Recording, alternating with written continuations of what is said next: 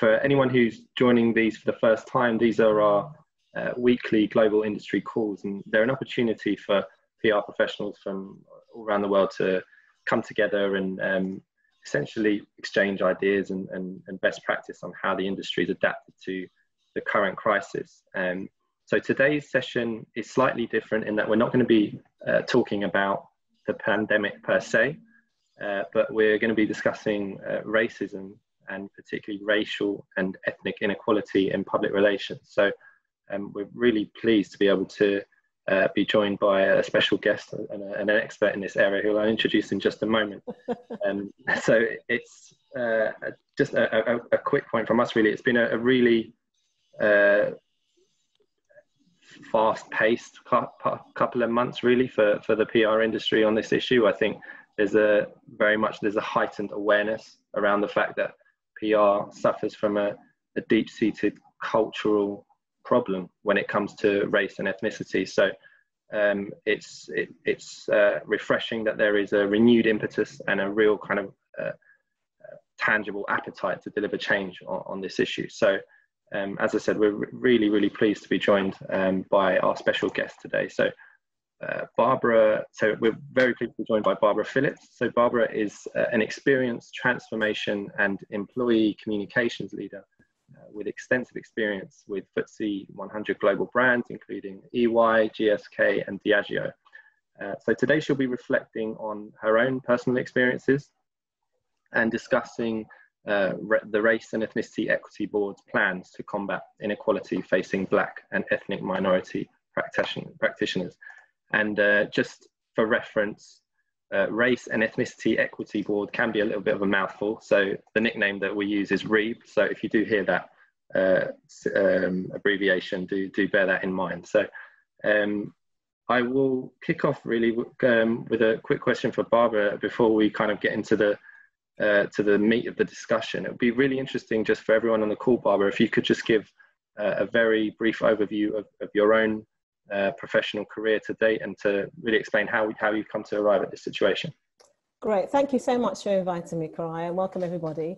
So um, I started uh, in PR back in the dark ages when um, well, you still had to, I'm not even going to say fax, you still had to, well, you kind of used to have to fax journalists and um, we weren't, it was just before the internet. Um, and I loved the storytelling. I loved the people, you know, piece. I loved getting brands out there and telling their stories. So that's what attracted me.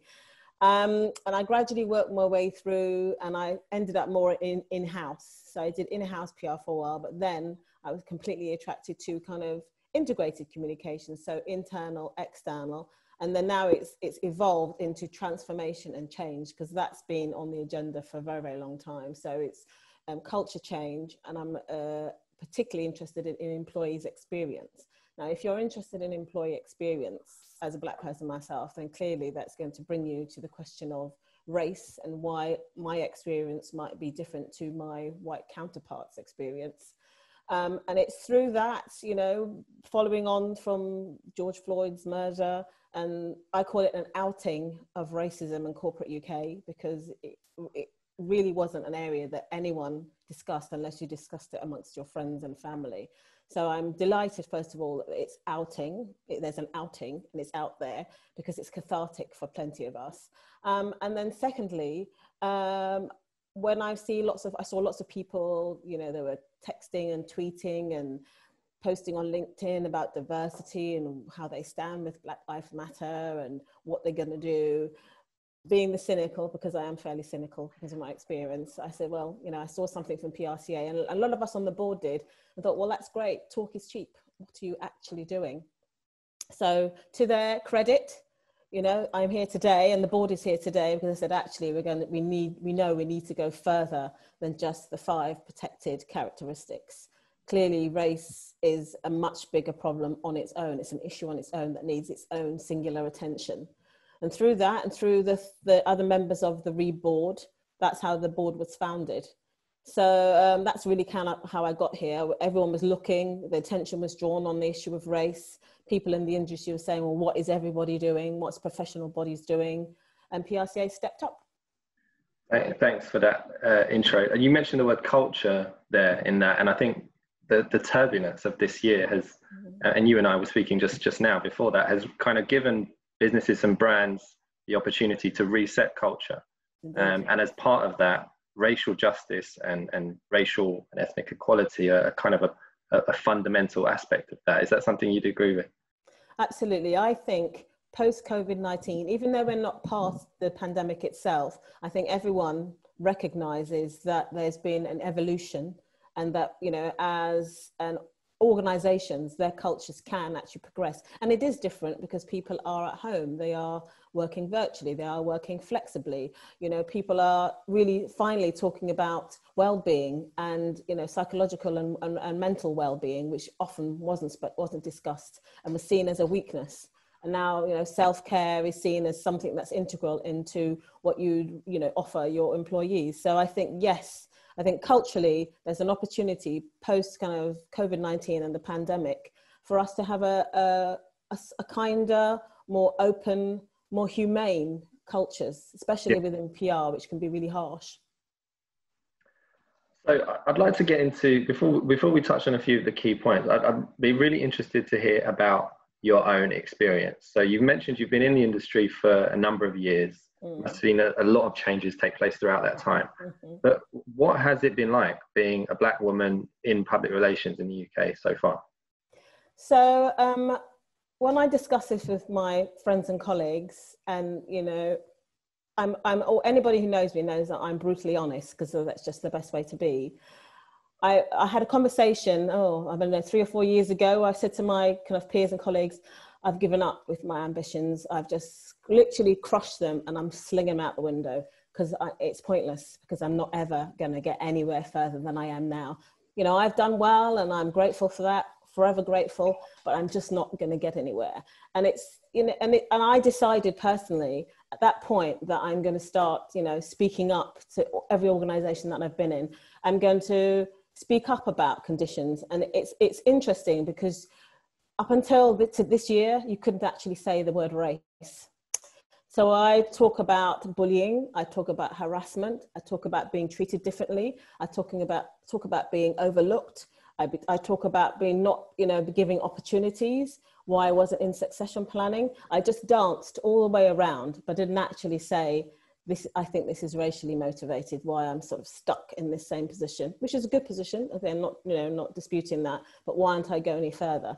So i think it's interesting that most black and asian and you know diverse ethnic um, practitioners just ha- almost have a silent code where you you know if something happens and you get on it's a massive celebration. But if it doesn't you, you you're like well okay that's kind of what our lot is. Not that we accept it but that you know we have to find different ways and we're very inventive finding different ways to push against and try and get anywhere. But i'll admit i said corporate uk you win i'm not trying to get any further because clearly you don't want me to so let me just start talking about how i feel now now i've given up on you know being promoted let me just talk about how i feel because it will, it will obviously stop my career trajectory but i don't mind i'm just going to start talking about and, it and what was the response because you've obviously you've worked at some big organizations that I mentioned at the beginning. What what was the response from them when you started airing your own uh, experiences and beliefs? It's always rejection. It's the same. It's almost like a playbook. Um, I was obviously the issue. I was the problem. I was if there was any disharmony or the culture wasn't suitable or inclusive, it was because of me. Um, everybody else is happy. Why can't you be happy? Yeah. You know, how how you're really lucky to have that role. Really lucky, Barbara. Look around you you know, you're the only black person. I didn't say that, but I would be the only black person. Really lucky. Look around you, you know, just put your head down and go with it. You know, you're really lucky. That was generally the attitude. And um, how how has it changed, or has there been any change that you've you've noticed kind of over the? I think the last couple of times, because I do make uh, it an issue of mine. Well, not an issue. I make it a practice that everywhere I work you know, if I see bad, not necessarily racial, I mean, I'm talking bullying, harassments, misogyny, sexism, there's plenty, plenty to choose from. I always call, I always call it out. I always go to the most senior person who will listen to me and call it out. And then uh, they'll fling it under diversity. Oh, yeah, covered by diversity. Well, how I think it's changed is, is fundamentally, as I say, it's cathartic. From there's you know thousands and thousands of black and Asian and ethnic minority um, practitioners who can actually exhale and say, oh, it's out there, it's finally out there. And that's a massive shift. Because I say, in all my years, I haven't actually been able to say the word race. If I say the word race, I am just shut down. You are shut down and managed out of the business. You cannot, you couldn't even say the word race. Mm. So that's a massive shift. I mean, that's, that's, that's the beginning. It's not the end. You know, it's the beginning of movement because you can, yeah, for any, for you to, if you're, if I was coaching someone, you know, you have to acknowledge that there's an issue for you to start to deal with it. If you're not going to acknowledge there's an issue, then nothing will ever get done, which is what has happened in our industry. Yeah, it, I mean, it's it's depressing when we think about it, but it's it's it's an also it's it's positive that this has happened, and and as uncomfortable as it is for a lot of mm. organisations, it's it's overdue and, and very much needed. And in your own career, you am I right in saying that you've you've worked mainly on on con, on a contract term basis? I made that decision for a number of years ago because I could only really, I have to say, survive or endure by six months. I mean, the, the last permanent role I had, it, it uh, was just under a couple of years, and I was spent. I was burnt out from how difficult it is to try and operate at a mid-level with everything that goes on, the microaggressions, the comments, the you know, you are blamed for everything. It's it's exhausting. So I said, well, let me just do short sharp stints, six months, maybe a years, then I take a break. If anyone looks at my, my uh, profile, I actually have to take a break in between each interim assignment just to replenish and refresh myself. So when I go in, I start really, you know, top notch and ready to go and raring to go. And I don't get jaded and I don't get really, you know, bitter and twisted and too cynical. So yeah. yeah. I've chosen so I can have a break in between. And also it's matched. This goes back to kind of post-COVID cultures. That's matched with my working environment, my home environment. I have one daughter and that means I've never missed any of her plays, any of her, I mean, I've had the flexibility. I've done my bit as I was a school librarian. I was a school representative in, for her parents, you know, association. I've managed to do loads of different things and also volunteer. I'm a, a magistrate. So that it was two things. It was one, the environment I found too intense forever, you know, permanently, but also it's helped me have a, a more enjoyable life because it, you know, I have the flexibility. Yeah, the, the flexibility that that offers is great. And I think a lot of individuals are now in, in that position, um, mm. given the year that everyone's been through. I think the point you made about um, contracting on a short-term basis, if you were a, a white woman from a, a, a middle class background, do you think you would have signed up to uh, one of those organisations on a long-term basis, you think you would be in full-time employment. So, what what are your views on that?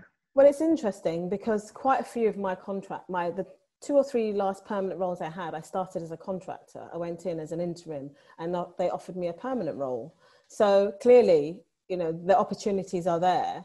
Um, and, and so I think the answer would have probably some of them. Some of them I would have. There's a couple I would have remained you know there's there's an old saying that you never leave the role or you never leave the organization. It's you you leave your line manager. It's your line manager that drives you out. Mm. and that has been my experience. And there's a couple of times i really wish i could have just escaped from under this person and worked somewhere else in the organization and it would have been you know i would have been happy to stay. But the way and this is why we talk about what we talk about in our goals there are systems in place which are quite toxic where you can't actually, know if your line manager doesn't give you permission to work somewhere else in the organization, you can't. And that's yeah. so wrong, obviously so wrong, because it's open to abuse, and most of the time it is abused. One of the issues that, um, or one of the topics that kind of was front of mind of the terms of reference in mm. the REEB document was this notion of equity. Mm-hmm. So there's been a lot of conversation about diversity and inclusion, but you were really uh, really strong on the point that we needed to establish racial equity. Could you just mm. explain a little bit about that for our audience? Yep, I mean, there's lots written about it, but I think from our point of view, where we are on the board, it's you, we, we as you know practitioners, we want just want to be equal. We want equal amounts of opportunities. Uh, you know, the equal treatments. It's mainly mainly around opportunities because you know if you t- if you talk to some black PRs, you know, in a group, will say, if you're not any good, you won't succeed. We're not expecting to succeed because I'm black, but I'm not expected, I don't expect to be held back because I'm black. And that's where the equity comes in. It's kind of equal opportunities across the board. So rather than say we've had equalities, we've had before diversity, there was equality. So it used to be equalities, and then it became diversities, and then diversity and equality. And clearly, that hasn't, we are where we are. So my point about equity is just let's level off the playing field. Seriously, mm. I know it's an old one, but let's make it level. And there's some work to do. We're not going to start today. If I'm back here, we want the equity means I come back to ground zero, if you like, and then start looking at how good I am, and then start looking at my qualifications and my attitude and my ability. And if you know I'm good enough, promote me. That's equity. And um, I'm just going to come on to REEB in, in a moment, but mm. just to touch on something that you mentioned earlier about your own personal experience. Mm. Um, there's been a lot of discussion in the industry of late about microaggressions and mm aspects of discrimination that people weren't really aware of. Hmm. Um, how has it been in your own career? What examples of can you provide of, of uh, instances where you faced inequality directly, and how how has, how has that impacted you? Well, it's very insidious. I mean, if you've been around long enough, this will be. I have I have a sister who's ten years older than me, so in her day, if you like, you know, a generation above, the discrimination was obvious. You just wouldn't get the job because you're black, or you just it would be obvious that sorry, we don't employ your type. But it's now in corporate UK, it's very, very insidious. So there's this whole nature of going through okay good example is i won't name the organization to say i don't have a lawyer but it was it was an interim role it was senior level um, I had six interviews for that. It was an interim role. I had six interviews. My colleague had two, who was in, you know, we in the group together. Someone had one phone call, then they, they had a chat on the phone. But Barbara, I jumped through six hoops to get exactly the same role as someone else. You know, that's, I think it speaks volumes. Um, and in the end, I only ended up spending, I didn't spend that very much time there because it was awful. You know, the red flags were there, but I thought, well, you know, it's a great role, it's a great organization, maybe it'll be fine. But it actually wasn't. So microaggressions would be those sorts of things. When I get there, um, I work somewhere else where I was talking to, she was executive director of HR. And she said to me, we were just, just introducing ourselves. I said, oh, I'm divorced, you know, um, I live with my daughter. And she actually said to me, oh, does she see her father? I said, uh, yes, she does. We're divorced you know, we weren't shacking up. it wasn't, yeah. I don't know what she thought. She says, oh, does she see her father? Really just out there.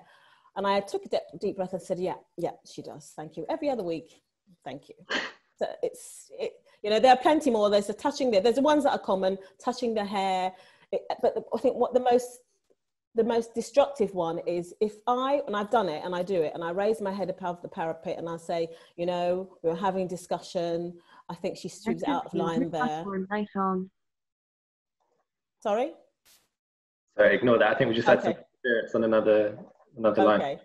No, I think um, I, you know, you're in a situation where you you put your hand up and say, you know, that's quite to- toxic. I mean, there was an organization where I was managing someone, and she, I got when I started the role, she was literally hanging on by a thread. She was burnt out, so I helped her, I coached her. You know, you know, she had to take some time off which was great. But when I went to speak to like kind of the executive director about the culture in that particular team, she just flipped it on me. She said, it was fine before you got here, you know. What are you doing? Look at the way that you speak. Everyone's complaining that you're too aggressive. Everyone's complaining that you're just out there and you know to really watch your tone. And she just completely flipped it on me, which is what normally happens. Which is pretty shocking. Um, it is shocking. So moving on, I mean, we're, we're I, I think we're in agreement that we're moving into a new era with regards we to how we could how, we could be we could be some of us are PRCA definitely is. Let's not just give everybody the blanket of comfort like yay PRCA PRCA's done it so we're all doing it. No, not, yeah, not I'm a realist. So, but so PRCA are definitely very much aware that we're. I think we're at the very, very start of this journey, mm. um, and it's and it's going to be a long a long journey to get to where we need to get to, anywhere near where we need to get to. But um, we've discussed Reeb in brief, but could you just share with the audience what uh, Reeb is and its vision for the industry? Where would you like to see uh, the Race and Ethnicity Equity Board in five years' time? What would success look like? I think, um, first of all, again, I have to applaud PRCA for when we were having kind of the informal conversation. So there's, there's 13 of us on the board where we're all, you know, Porker and we were all going, what are you doing? what are you doing? You're talking about it, what you're doing. They said, oh, we, you know, we need to do something specific. We have to give, um, you know, uh, a round of applause to PRCA for the organisation who agreed to have a board dedicated to racial equity. Because we have to remember as i described earlier you couldn't even say the word race until before george floyd was murdered.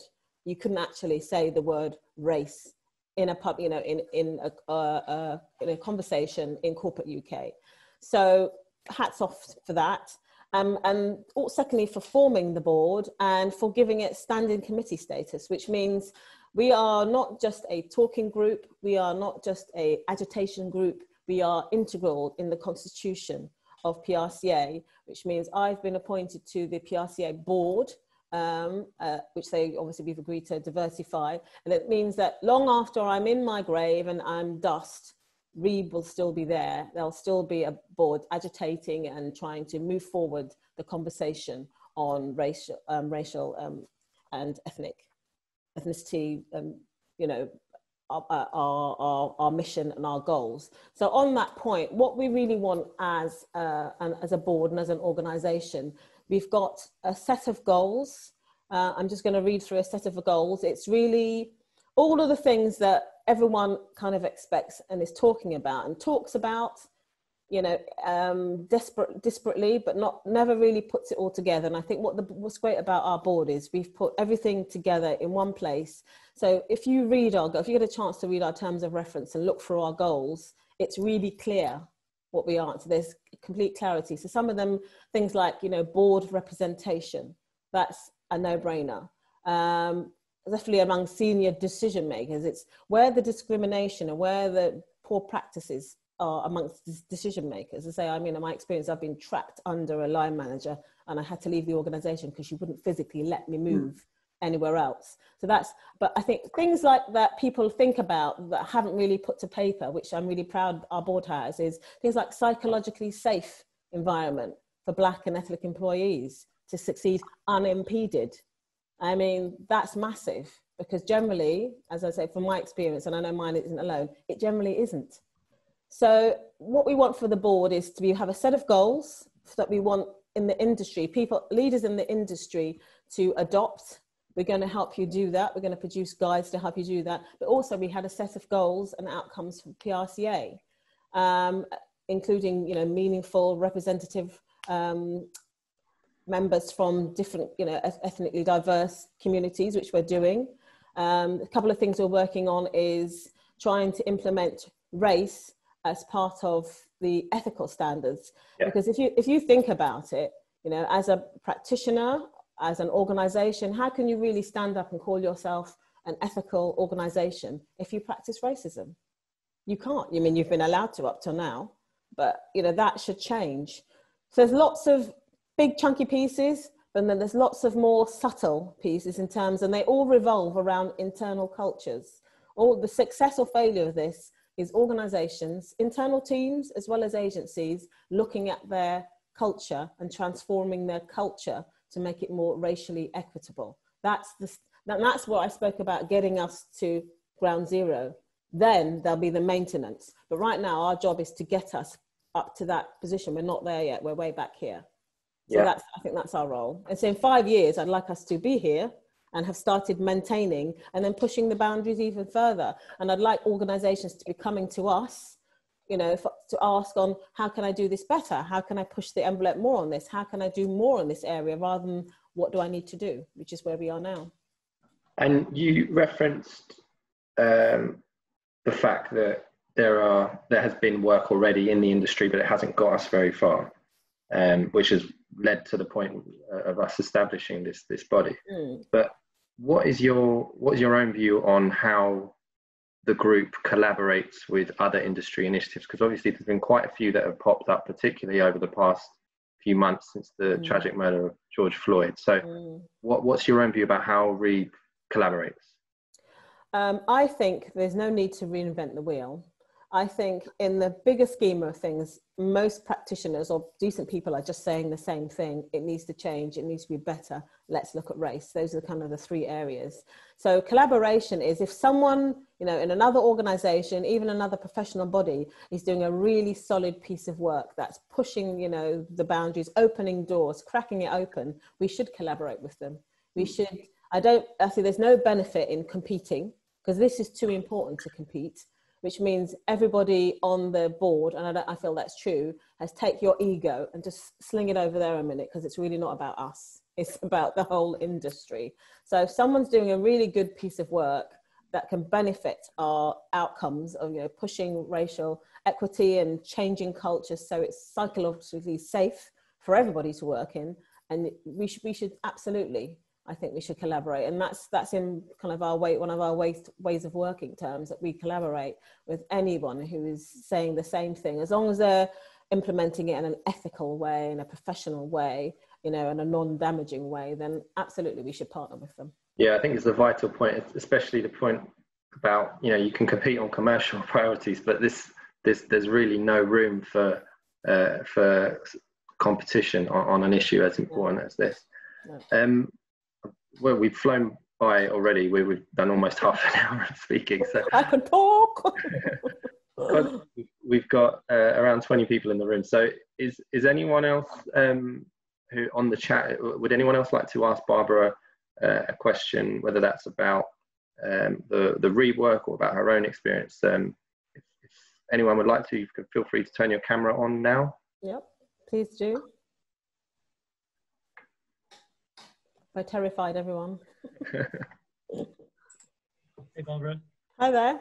Um, first of all, thanks very much indeed. And I was delighted to read all about REEB and specifically the changes to the uh, Board of Management, um, which had concerned me for a little while. Mm. Um, Corey kind of stole my question um, in asking about integration with other PR industry efforts, mm. um, but mm. one that um, grabbed a lot of attention and it seems like um, reasonable momentum is uh, the blueprint. Mm. Um, and yeah, I was just wondering, having been through sort of PRCA audits and CMS mm-hmm. audits and things mm. like that before, just keen to understand if you're going to start to try and plug those things together. So something like the blueprint where you're audited and then you're audited every two years and have to things like that. Will what you're planning on doing try and integrate, or if not integrate, recognize that? Or are you planning on setting up other sort of additional things as well? I know my FD, who spends a lot of time answering these things, is going to ask me at some point. So get, out there, get out there right now. I'd say, thank you for that question. That's a great question. I'd say from from the inset, from the outset of the organisation, from the board, you know all of us on the board we all have our networks. We all know people. We're all linked in some way. It's kind of six degrees of separation. So yes i i'd already seen the blueprint. I'd already start i follow elizabeth on twitter. And i think right now our journey is to find a way for it. Just as i said not to compete not to you know repurpose something not to recreate another wheel. So we're working on trying to find a way that absolutely pushes forward because the outcome that she's looking for, the blueprint looking for, we are looking for. So I'd say to you, any and the blueprint and any, there's lots of things, lots of groups out there have started before George Floyd and they started. And I said, we'd like to find a way, a mutually beneficial way to tie up. I mean, if we have lots of little, if you think about the kind of the helix model, there's lots of dots and there's lots of, you know, we want to be connected to everybody because we're all pushing for the same outcome and there's absolutely no need to do anything different. So i say yeah we're in the process of seeing what we can do. I mean the people who are involved in these you know these other endeavors they might decide that they don't want to work with the prca and that's fine. Even in that case i will still find a way not to just replicate. You know at the very least we should then say okay we're we're recommended you, recommended you go and do this next because yeah. it, it really people have to understand it really isn't about us it really isn't about ego it's about this big outcome that's so long overdue you know it, it's not it's not worth me saying well i don't want to work with that person it's like yes let's find the best positive way yeah. to get there but sort of recognizing rather than replicating some of those efforts. Absolutely, because if they're working well, sometimes we can add to. You know, there's you, there's never enough good ideas, so you can add to, you know, expand slightly, amend slightly, just for our purposes. We're open to all of that, all of it. Superb. Thank you very much. Thank you. Thanks, Richard. And um, just to, just to add on to that, the, the point about collaboration, I think um, REEB were quite strong on that point in the terms of reference. Um, it's something that is really written into their existence. The fact that they they are uh, as a body uh, wanting to uh, amplify the efforts of those who align with their with their goals. I think on the the point that uh, Barbara referenced earlier, there are certain structures within the framework of the PRCA which already exist, whether that's the code of conduct or uh, the communications management standard. And a lot of REEB's work will be about actually reviewing those and updating those. So the update to the code of conduct has already started. The CMS review is about to get underway. So it's there's the external pieces of work which are going on, which we can collaborate with. There's also we've got to get our own house in order on this issue as well. Barbara's playing a frontline role uh, in helping us achieve that. Um, Siobhan, I've noticed that you've turned your camera on. Um, I'm hoping that's because you'd like to ask a question. Yes, it is. Thank you, Corey. Um, I said to Corey, thank you, Barbara, as well. This is brilliant. And to all the uh, members of the board, congratulations and welcome. Um, and we're here to cheer you on and support and champion what you're doing. It's long overdue. So thank you. Indeed. Um, my question relates to I've worked in an organization where diversity and inclusion was a big part of the culture change and the transformation of the organization. And communications and internal communications was playing a key role in that, and I, I, I was therefore heavily involved. Mm. But one of the things that the organization was very keen to do was just to focus on one particular aspect of diversity and inclusion, mm. um, and therefore focused on uh, the LGBTQ community mm-hmm. as a as a as sort of a springboard to bring the conversation about diversity and inclusion into the workspace mm. and create comfort and inclusivity for people mm-hmm. but didn't want to diversify the topic beyond mm. that mm. What are your thoughts around that? Because I think I see other organizations doing similar things where they mm. choose to uh, put the microscope on one particular part of diversity and inclusion. Um, and I sort of see it as well, we're resistant. We don't want to talk about race because, as you're saying, well, that's a bit uncomfortable. Mm. You know, we're not comfortable talking about, you know, skin color and how we've, you know, oppressed people in the workplace It's much easier to talk about another aspect of diversity. Mm. Have you seen that elsewhere? And do you have any thoughts about how to perhaps, you know, help people overcome and say, it's not just about one aspect of diversity and we focus on that we should focus on all aspects absolutely absolutely and i'm going to physically put my cynics hat on because i have a right. very cynical idea about this a lot of it is diversion tactics because I mean, if you think about it, there are things, and if you're familiar with the term intersectionality, yes. So fine. So if you, it can be a way. If they were really, if you're, gen, if you think, if you're genuine, you will say we're going to talk about the, you know, the LGBTQI um, community, but obviously there's race, there's generations, there's abilities. It's all it's all sectioned in, isn't it? There's an intersection. Yeah. But you know, so if you're if you're being genuine, you might say this year or for this quarter, but not forever. But you can't diminish the intersectionality piece. That's number one. Mm. Then second, I, why I think it's I'm cynical about it is because of um, things like unconscious bias. I have absolutely no time for unconscious bias. I think it's an utter waste of money because it just presumes that you're going to do it. I mean, I've done them. I have to. I have to do them. Virtually every big firm I work, I have to go and do unconscious bias. And you sit there and you type it in, and then I go back to my desk. Whatever I felt before, I still feel after my desk, which is a waste of time. So I'd say this whole tactic of focusing on one, it's so you can't say, oh, look, you're not giving diversity, you know, enough attention. You're not so, oh, yes, we are. You know, we think that that community is the most, un, you know, repressed and and it, and I think it's a ploy.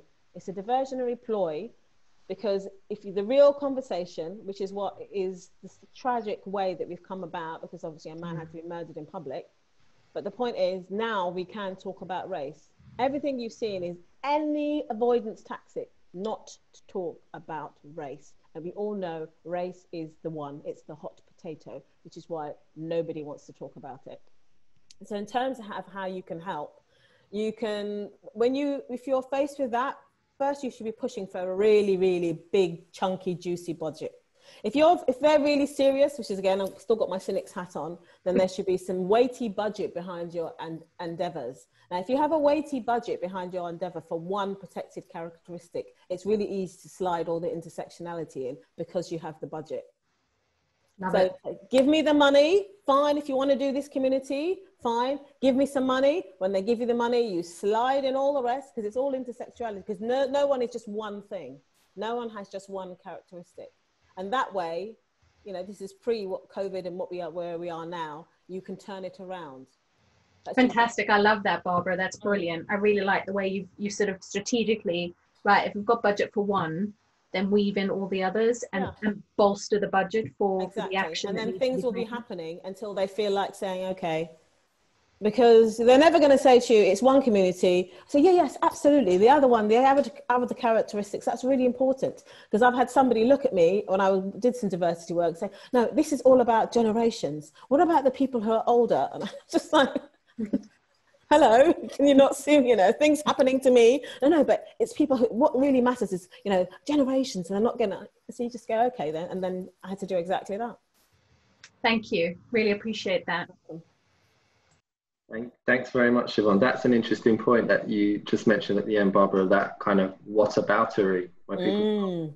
listing, you know, issues of, you know, all the way from disability to geographical inequalities, which you know are, are issues in their own right in their own right but we're talking about something that needs to be uh, addressed in isolation. Uh, mm. so so yeah really really interesting to hear your views on that. I'm conscious that we are running out of time so um, if there's no one else who'd like to add any other further comments if it would be a very quick one i'm going to have to wrap up quite shortly. Um, that barbara just, just a quick you. one corey just a quick one. Sure, liam go ahead Hi, Barbara. Really to see you on board. Um, I'm new chair of the Public Affairs Board. Lovely. And if you take the public affairs industry as part of the P, uh, part of the PR industry, the public affairs industry is even less diverse than public affairs industry uh, than the, mm. the PR industry. Yeah. Mm-hmm. So, so we've got a, a, lot to do there. So I'm looking forward to getting involved mm. much more in this.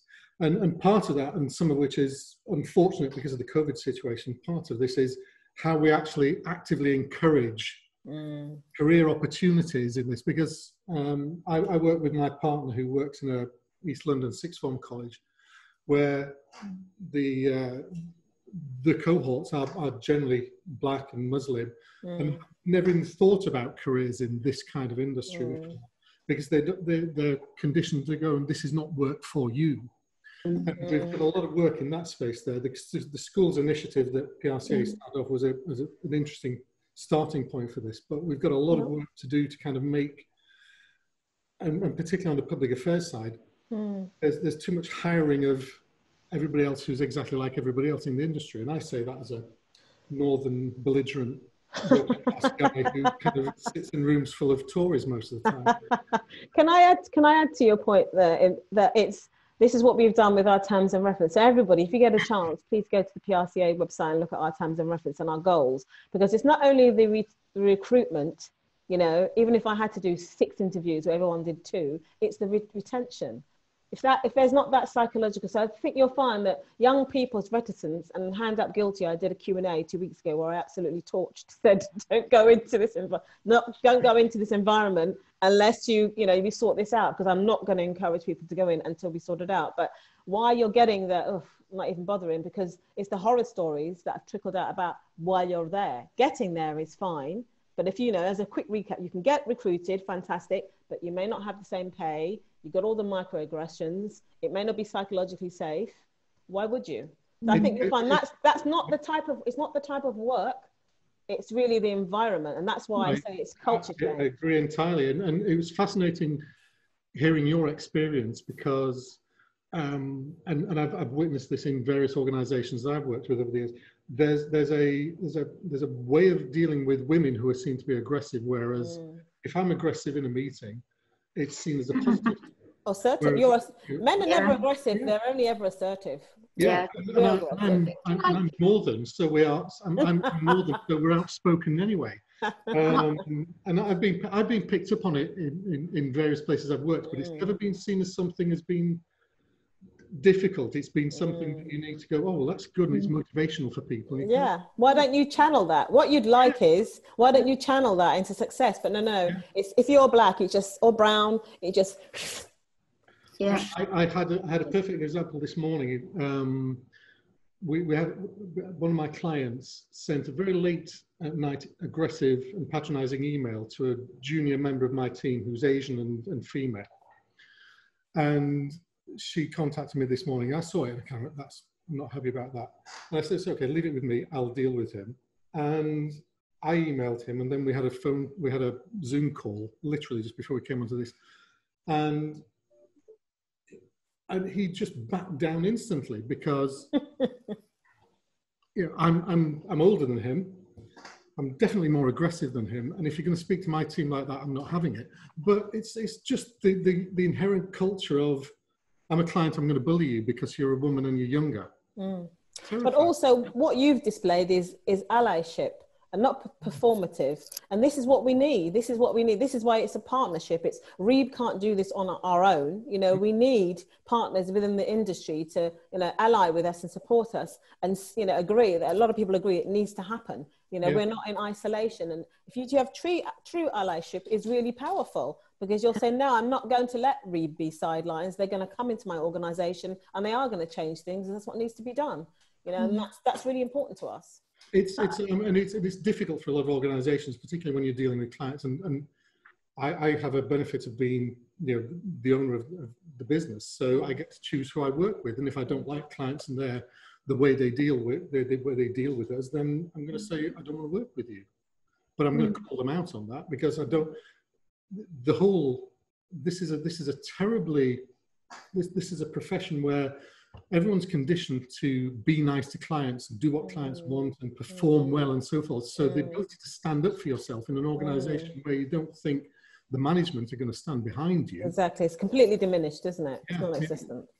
Although I know we have to wrap up, it's just uh, Kerry quickly. And sorry, Barbara, I couldn't join you um, okay, earlier today just a, a, very quick reflection. I mean, obviously the public sector are a bit further ahead on this, only because there's more laws, rules, and regs, and mm. they've been working. Well, only slightly, Kerry. Only, only slightly. Yeah. yeah. there is a hell of a lot of work to do, and mm. you know, even when I was working at the NHS, just to pick up on what Liam's just said, mm. um, you know, obviously, you know, the nurses on the front line, the doctors. I mean, you know, that was more diverse the other way.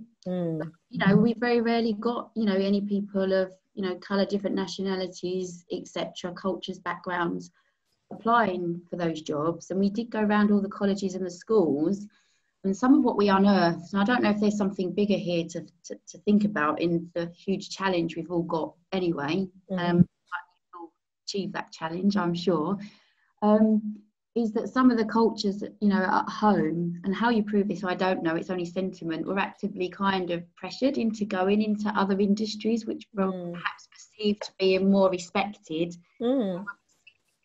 more monetary reward. Mm. So even I think, I think that's any family. Any family wants their children to go and get the best possible job and yeah, get the best so, salary. Yeah, so there are some things you're up against, and I'm sort of quite a big fan of social mobility. So if Corey, you yeah. can get that schools program back up and running, and that's something we can all try and support. But yeah. I mean, I absolutely agree. I think it's you know that's an intersectionality. So social yeah. mobility and socioeconomic status is an intersectionality, mm. if you like. But still, you know, with my cynical hat on and having worked, I did some work in the in the NHS.